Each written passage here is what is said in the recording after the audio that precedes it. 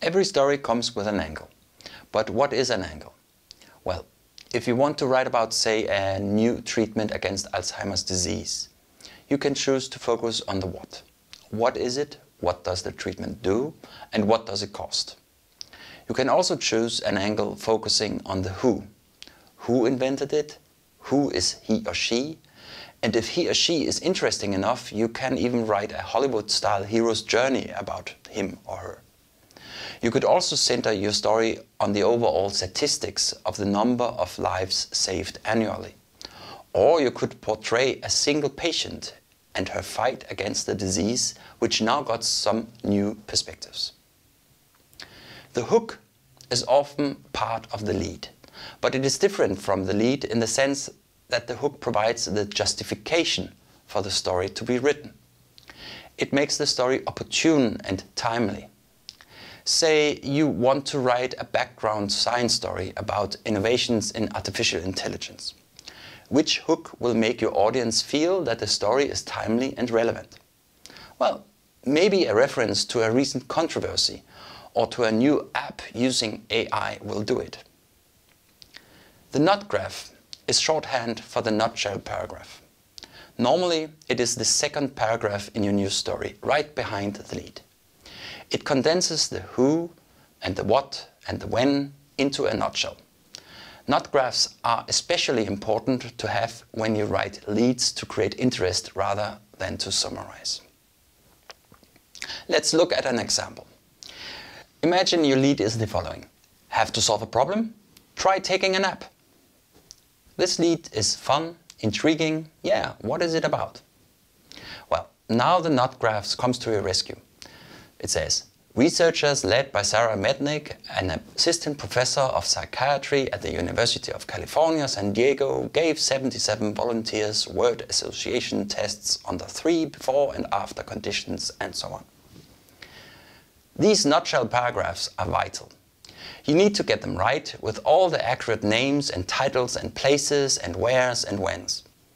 And they need to be there in full length and glory, even though they can be quite annoying to write and to read. But without a nut graph, impatient readers may wonder, what is the point of this? And drift away, no matter how clever your lead is. If you, on the other hand, have written a summarizing lead, your nut graph may not be needed or may just need to supplement any of the five W's missing from the lead. Or it may provide some background information or add a supporting quote. The details are in the main bulk of your text. They include arguments, controversies, evidence, quotes, support, logic, and possible consequences of the findings. In addition, science stories usually have some explaining to do about how the researchers came to their discovery and how they worked with their data. How details are really important in science writing, because the readers of science stories generally are very curious and expect all open questions to be answered. Editors, on the other hand, tend to cut out the how details, because for them all the important things have been said already in the beginning so they regard them as surplus stuffings, nice to have but okay to throw out. Endings are almost as important as the lead, but science writers tend not to prioritize them. The quick and easy way out for most news writers is to end with a good quote, which provides a comprehensive conclusion and somehow gives a sense of objectivity. It lets the writer get out of the way. But the quote as an ending is overused to the point of cliché. So my recommendation would be that when you search for an ending to your story, your goalpost should be something which you know will stay with the reader for a while. A memorable truth or a surprising perspective or a catchy phrase that leaves a lasting impression in the reader's mind. It might be very well be an mesmerizing quote designed to let the reader's head explode. But it might equally well be a witty quip or a reflective afterthought which brings the reader back down to earth and tells him that science might be interesting and fun, but life goes on. The most common way by which journalists put together all these elements of a news story is the inverted pyramid. The inverted pyramid helps you to arrange the facts in news stories quickly and efficiently. You don't want to use it on every story, but it's an essential tool in every reporter's toolbox. The reason it is called an inverted pyramid is that it illustrates the order of importance. The widest part at the top represents the most substantial, interesting and important information the writer means to convey to the reader. The lower portion illustrates that other materials should follow in the order of diminishing importance. At the top we have the lead, the hook, the nut graph and all the answers to the five W's. In the middle goes the meat, the how, the quotes, the arguments and the context. The tail contains all the rest, which is nice to have but expendable, and also known to be read by less than 10% of all the readers who see the title.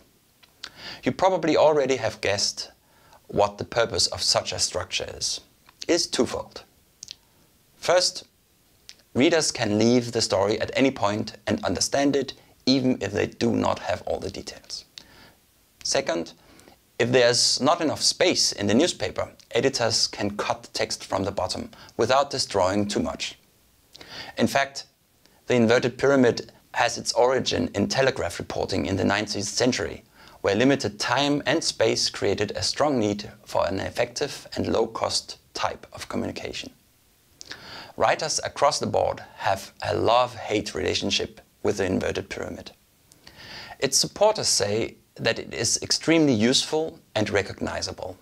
You'll find it on the front and inside pages of most newspapers, as well as in stories distributed worldwide by the Associated Press, by Reuters and other news services on the internet.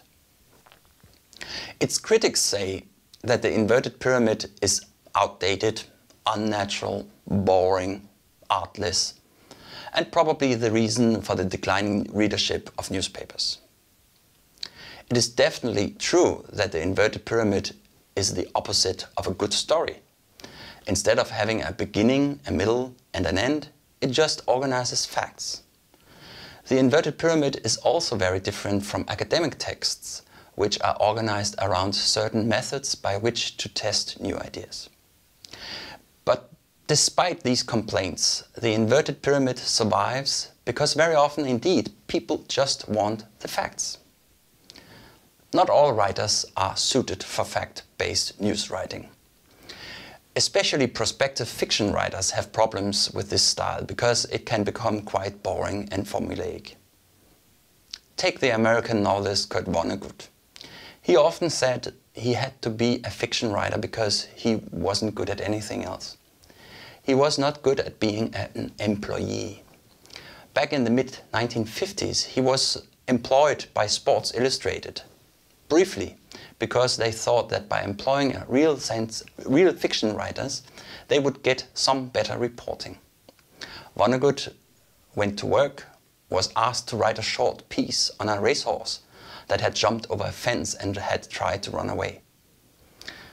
Vonnegut stared at the blank piece of paper all morning and then he typed, the horse jumped over the fucking fence. And then he walked out self-employed again. Okay, although basic news stories are quite formulaic in their structure, just like books, they too need to be rewritten. Publishing a text without rewriting is like walking out of your home in underwear. It is not pretty, usually. But how do you become a good rewriter? Well, you should start by becoming a good reader. Most people know when they read a good text. You should know why a text is good because then you can use the ideas for developing your own style. Here we have Charles Dickens writing Hard Times. And it really can be hard times to write and rewrite. I've listed a few rules of thumb by which you can improve your text, courtesy of George Orwell.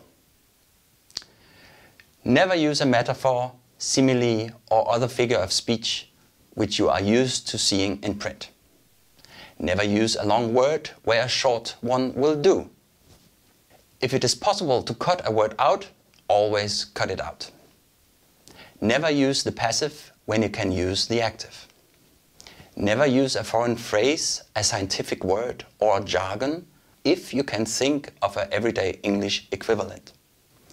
Break any of these rules sooner than saying anything barbarous. And again, when you decide to become a science news writer, you will not want to reveal yourself. You will want to reveal the wonders of science and you will convey the creative ways by which scientists try to reveal the truth about the universe. But you will have to accept the impersonal sterility of journalistic reporting, at least to some degree. Over time it will become easier and you will see that the inverted pyramid as a format will help you to develop critical thinking, to analyze events and to synthesize their meaning, which are the foundation of clear thinking and writing. Thank you for watching. See you next time.